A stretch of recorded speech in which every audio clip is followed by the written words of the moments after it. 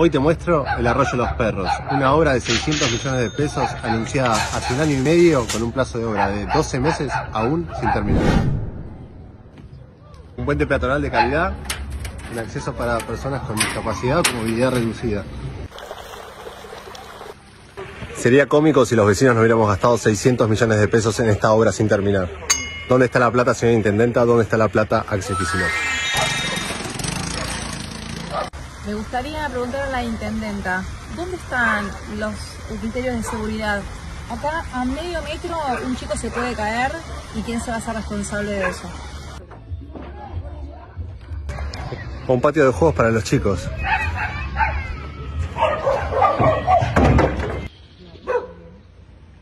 Una obra que vino a anunciar el presidente, una obra que vino a anunciar Catopois, una obra que visitó varias veces la intendenta, que tendría que estar terminada hace varios meses. No hay signo de que estamos a terminar.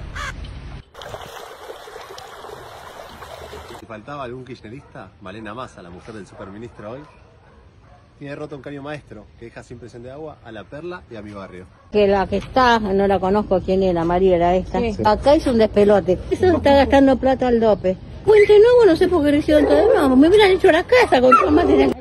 La muñeca.